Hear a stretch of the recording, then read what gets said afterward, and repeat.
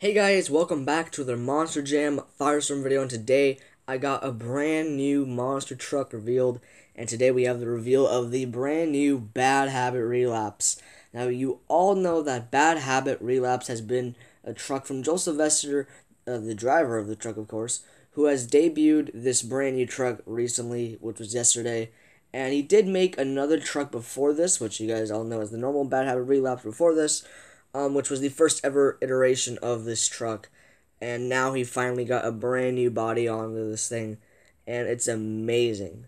I am so hyped up for this, and I just can't wait to see uh, if this truck will perform Monster Jam or not.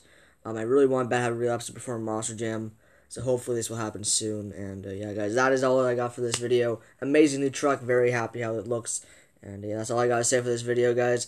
Like and subscribe to the channel. It'll really help me out a lot. And I'll see you all in the next Monster Jam Firestorm video. Goodbye.